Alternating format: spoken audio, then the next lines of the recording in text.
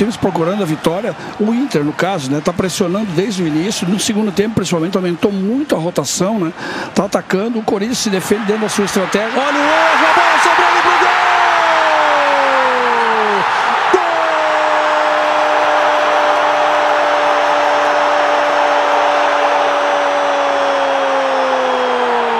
Pode comemorar, torcedor colorado. Rossi, Rossi a 46 do segundo tempo. O Internacional está virando o jogo no cochilo da defesa. Dá uma olhada, solta de novo. O Balbuena foi dominar. O Walter sairia para ficar com ela. Atrapalhou-se no sistema defensivo o time do Corinthians. Foi o Mantuan quem falhou na jogada. Foi ao desespero e o Rossi apareceu para cutucar para dentro. O Mantuan se mostrou muito abalado ali depois do lance, escondendo o rosto. E vários jogadores, quase o time todo foi abraçá-lo ali, tentar consolá-lo. Até agora ele está agachado lá do outro lado. Ah, é, é um cara que está surgindo, né, das categorias de base, toda a identificação com o Corinthians. Muito legal a postura dos seus companheiros. Né? Apita Pericles Bassols.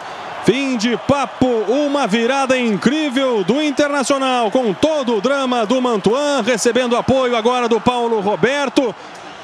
A imagem da solidariedade, né, no fim de jogo, um grande jogo de futebol aqui no Premier e a virada já nos acréscimos nos pés do Rossi.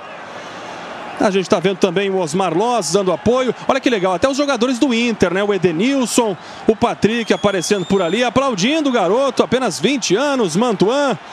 É claro, né? Não vai se perdoar tão cedo por essa falha na defesa. Mas é a sétima rodada, o Mantuan está recém chegando no time principal. E é o Pedro Henrique que está abraçando. O Pedro Henrique passou por situação semelhante. Ele cometeu um erro também, foi abraçado por, pelos jogadores. Interessante. Serginho, deixa eu ouvir o Balbuena aqui. O pessoal todo consolando o Mantuan. Um momento difícil para o garoto, né? Complicado num jogo como esse, no final do jogo.